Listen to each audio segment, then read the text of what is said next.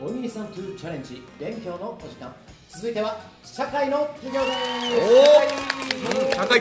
を社会。を知れば世界に広がるワールドワイドにパーフェクトに、ということでね、イベントに向けてまたまたお兄さんステータスをアップしていこうということ。はい。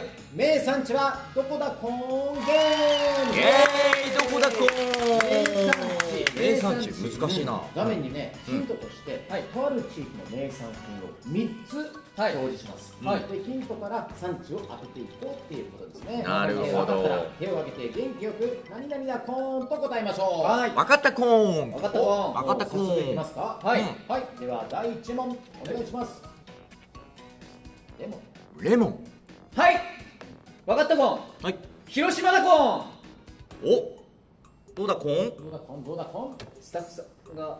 正解！おおええなんでわかっ違うんですよあの、ばあの広島に住んでた時のバイト先のトイレのポスターがレモンなんだってえそうなん早い。瀬戸内レモンっていうのがあるんです瀬戸内レモンだ。うんそうだそうだ。ごめんなさい。いやめっちゃ素晴らしい。ゲームよでも性がゲーム性が素晴らしい。もうよかったよかった。そういうゲームですよね。うん。素晴らしい。ちなみにヒントははい。2個目とかなんだろう。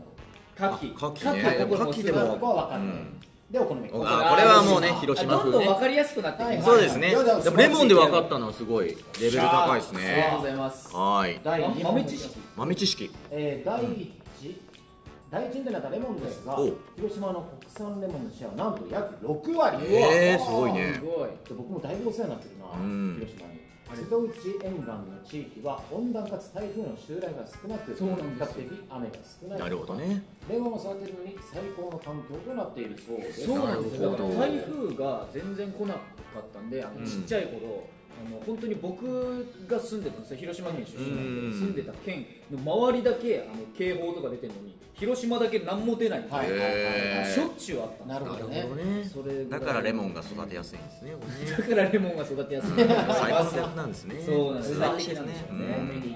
たい。と思い。ます二問目はいヒントどうぞスイカ熊本違うんです違うんですはい、はい。あの熊本。コーンって言って。コーン。コーン後付けコーン。後付けコーン。正解でございますこれ多分ね、ヒントを当てれるかもしれない。お何ですか？何が出る？ヒントを当てろゲームになって。ね、スイカから来て、熊本馬刺し。馬刺し。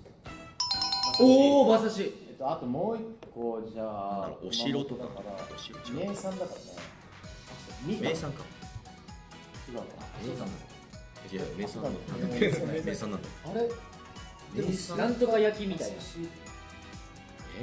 あと一個なんだ。熊本ですよね。うん、豚骨醤油ラーメンとか、くまモンとか、みかん。みかんも有名なんだけどね、そうですよね。いぐさとか、タバコの葉っあそうあなんだいぐさえなんだろう、もう一個のヒント。もう一個のヒントあーからしれんこ。んまさにのやつじゃん。はいはいはい。だからそう。これ何を隠そう？私が熊本出身なんでね、あらという。素晴らしい。あそういう感じで、ロボちゃんどこ出身だっけ？東京です。あもうあわかんないですよ。東京ですよ。東京ですよ。東京次出るかもしれませんから。名産なんだ何にヒントに言ったからしれんこからしれんこ元は病弱だった細川家の殿様のために考案されたと言われている料理だそうです、レンコンは栄養たっぷりなので、はい。健康食でもあったんですね。なるほどね。ということですありがとうございます。いやそうなんだ。じゃあちょっとまた熊本行ったらねからしれんこの方食べさせていただいて。分かったコーンってはい。いうそうそうそう。ちゃんとコ分ーンでかったココーンって後付けしたから。熊本。熊本。コーンって。何それ。それでは第3問いってみましょう。はい、あこれはね草屋。さあやですね。草屋ですね。あれ？あれを僕ねもう分かっちゃった僕ねそうすごい好きなんですよ、うん。あの草屋が草屋が好きなんじゃなくてここの場所がねすごい好きなんですよ。え草屋でも分かるかなこれ。草屋だけじゃちょっと。ちょっとでもねもう僕は分かってるんですけど、二人のためにもう一本ちょっとねヒントをもらいましょう。2二個目作りましょう。いいですか？うん。道場鍋ね道道場場鍋。と言ったらもうここですよね。でも2人がきっと分からないだろうから。ね。あ最後まで。最後までね。あ。最後はやっぱりあのまあ俺答えたいところだけどね、はい。まあ、2人がもしかしたら分かってないかなっていうところがあると思いますので、はい。最後のね、えーやつ。ちゃんこ鍋。わかるかな？わちょっと待ってくださいかるかな？とほらあれでも草屋でしょ、はい。で道場鍋があってちゃんこ鍋と言ったらねやっぱりここしかないじゃないですか、じゃあもう行っちゃいましょう。行っちゃいましょう。はい。東京こ東京コーン東京コーン。分かったコーン。も言わないまたこう思い出すそれではどうぞそれでは分かったコーン。東京コーン。正解でございます。いやっていうのもねこれね実はねあの草屋で一発僕本当はね分からないはずだったんですけど、あ僕ね八丈島がすごい好きで八丈島八丈島なんですね草屋ね、うんそうそうだから草屋だと八丈島だとそもそも八丈島が東京ってちゃんとドンピシャに分かる人とかもねやっぱ少ないから,、だから草屋ってここで当たっちゃったのはねちょっとね嫌だなと思って。なんでですか？なんでですか？なんかもう分かっちゃったから本当に分からない手で来たかすみませんあの僕たちの感覚的にもう答え大体分かってます え本当に？マジで？草屋で分かった？感覚的に。感覚的に。草屋自体でどこかっていうのはあれってなんで分かったーのなんでなんで？出身だっけのやつです。え？東京だよそうだ！わ分かったコーンこの問題はおののの出身地でできてるコーン正解正解やった。やった。やった。分かったコじゃーンああの豆知識を。はい。はい。紹介してあげてください。東京のはい。豆知識、えー、第3のヒントこちらはい。のちゃんこ鍋の始まりなんでございますけれども、こちら明治時代から始まっておりますね、えー東京の両国にある出羽の海部屋が起源で、えーたくさんの量を食べられて十分な栄養もあるということそして準備後片付けが楽なためお相撲さんたちの食事になったと。両国から鍋はいいよね。鍋はいいですね。うん。美味しいですよね。え。ー、でもどういやー。素晴らしい方でねためになりますねこれはね。うん。おのね、はい。住み慣れたあの場所の隠れた魅力に気づけるかもしれませんからね、はい。画面の前の皆さんも、うん。興味があったらいろいろ調べてみてください。おということで名産地はどこだゲーム大成功！大大成功！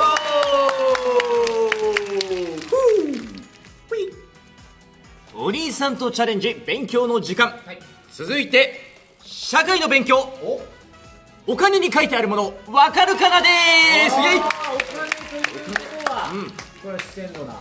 玉木お兄さんの出番玉木お兄さんね間違えられませんねこれはね。はい、こちらですね画面にお札やお金の一部がまあ隠されている画像が表示されます、その隠されたところに書いてある絵が何なのかを手元のスケッチブックに書いて答えていただきます。あーなるほど。こちら制限時間は30秒。ね。答え方は絵を描いても名前を書いてもどちらでも OK ですということですね。意外と見てないよね。いやお金だ毎日ね手にしてるものだけど意外と細かいところって見てない。おそうな金でんですよ。ねそうそうそう。最近あのーやっぱり電子マネーとかうん。クレジットカードとか、キャッシュレスなねものが多いので。だからなんかね最近のことがもしかしたらまじまじとお金見たことないですけど本当に小学生の時とかなかなか見る機会ないかもしれないですそうだね。はいということでじゃあまずはい。遡っていきましょう。まずは第1問。100円硬貨。これ100円硬貨か。えー、100円ね。ヒントヒント春。うんうんなるほど。100円硬貨ね。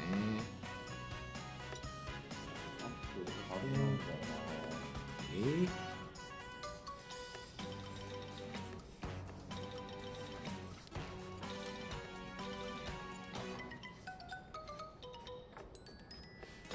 どうですか皆さん。はい大丈夫大丈夫ですか？はい。はい。はい。では正解参ります。せーの。桜。桜。桜の花正解。はい正解でございます。まあでもね100円はねそうですね。なんとかねよくよく見ます。よく見てますんでそうそうそう。一番目ですようん、これはまだ大丈夫ですね。はい、じゃあちょっとずつ難しくなっていくかもしれませんよ。次は第2問こちら。五千円札。はいはい。なるほど。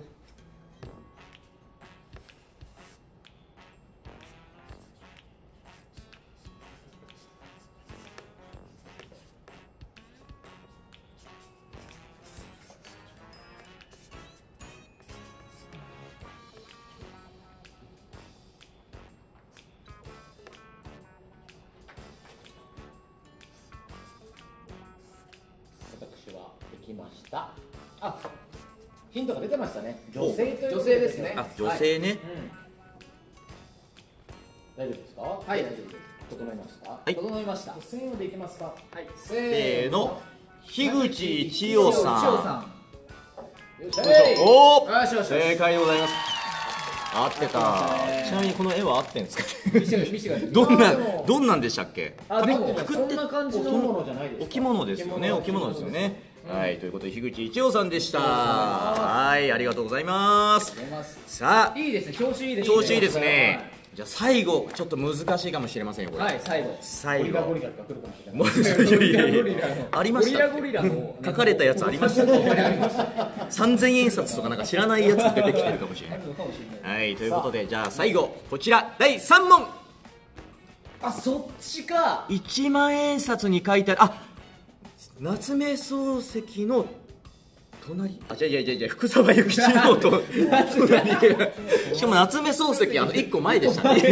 千円札の1個前でしたね。ヒント。あもう分かりました。これね。えここにええ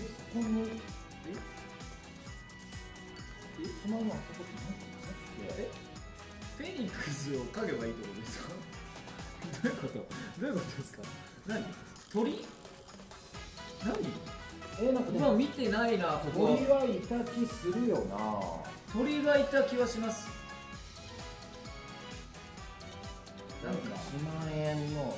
存在しないも表だよね。のなんかすごないんかねいたん存在感のあるね何かがないんかたんですよ。すごいなんか、うわー。なんだっけフラミンゴ？みたいな。形の。これなん,、えーなんとなくうろ覚えですけど。なんか。えー、なこれか漢字とかわかんない？漢字わかんないけどひらがなでもいいですか？あ全然。はい。じゃあ上とかは？はいなんか確かにいましたね隣ね。あいましたよね。うん。隣に隣フラミンゴフラミンゴ。フラミンゴ。いましたよね。はい。はい。でははい。正解皆さんよろしいでしょうか？はい。はい。正解はの。ほう僕ね片足立ちの鶴 でも下に鳳凰。ほうあこれ鶴だと思ってたんだよね。なるほどね。あれは10円玉。のあなるほほらほらほどらほら。でもほらなんかみたいなほら絵もなんとなく羽上にあでも羽広げてるんですね。羽広げてるんだねあれね。わ俺めっちゃ国のだから片足立ちの鶴さんだと思ってあでも鶴さん。なのかと思ってあのなるほど。カッコに助けられてますよだいぶ。およかった。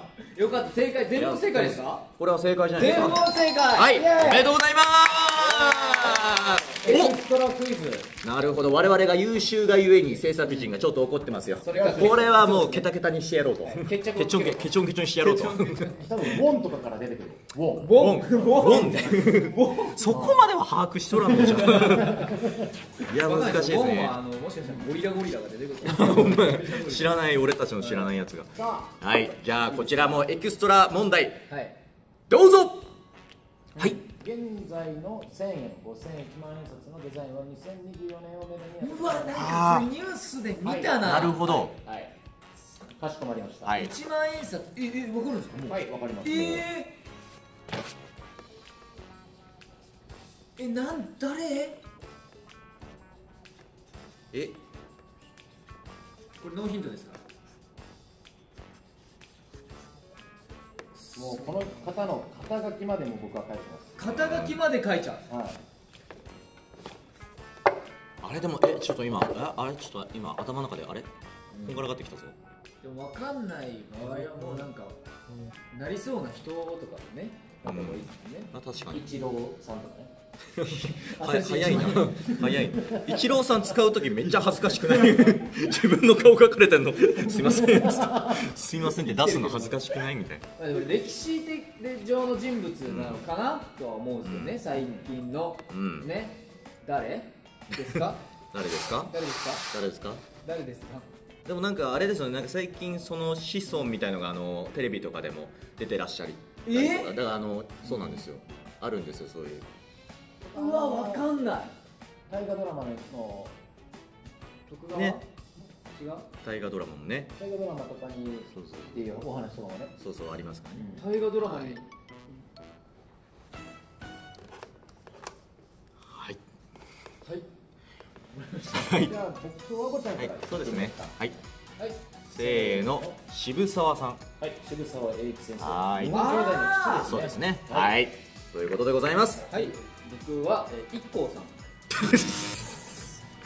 あの美容美容の神様みたいな僕の完全なイメージなんですけどなんかこうキンキラあキンキラしてるなるほどね。ピカピカしてるイメージ。なるほどね。やっぱ IKKO さんとかなったらなんかみんなこう世界平和いや使いやすい。だからあのどんだけの どんだけで1万円で。だか指がが1位だしなんかちょっとなんからゴージャスな気分になれる。なんかだからスあープ違う資本主義の父だ。あそうそうだあ日本そうだそうだ。資本主義の父だ。はい。そうそうそうそう。ーね、でここちらね資本主義の父と呼ばれる渋渋沢栄一さん、えー裏にはですね赤レンガ駅舎として親しまれた東京駅が描かれるということですね。はい。いやーでもね素晴らしい。でもこれは本当に勉強になりましたね。でこれからやっぱりねちょっと渋沢さんにお世話になることになりますので、まあ、残念ながら IKKO さんではなくて で1万円1万円スーパーで渡したらどんだけって言われてレジの人にどんだけって言われて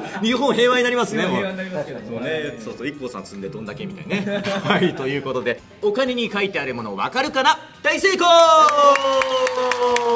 いやね、日頃からね、何を見てるかとかね、記憶力とかね、試されましたね、今回ね。はい。うん。いや今回もね、うん。お兄さんスキルお兄さんステータスアップした感じがするね、はい。ね。目指せパーフェクトということで。はい。はい。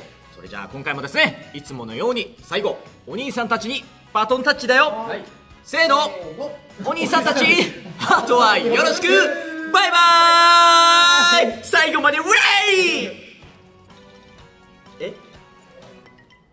ん？違う？まこちゃん最後まこちゃん最後。最後。みんなにっこり。